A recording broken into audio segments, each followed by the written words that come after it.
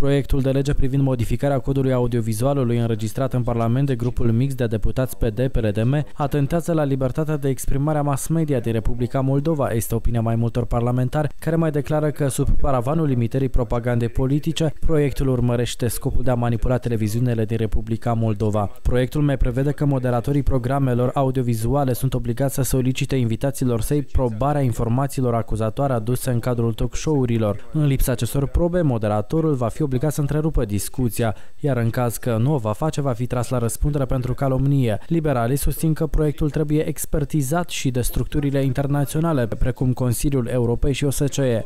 Autorii promis să organizeze mai întâi dezbateri și doar după asta să înainteze proiectul de lege spre aprobare. De asemenea, proiectul propune interzicerea emisiunilor de știri analitice prezentate și moderate de politicieni, persoane cu funcții de demnitate publică, iar produsul autohton va constitui de cel puțin 8 ore din volumul zilnic de emisie și va fi difuzat în intervalul orelor 6 dimineața 24. Cel puțin 6 ore din produs autohton va fi difuzat în orele de maximă audiență, dintre care 5 ore în limba de stat. PCRM nu a ieșit în fața presei pentru a comenta acest proiect de lege.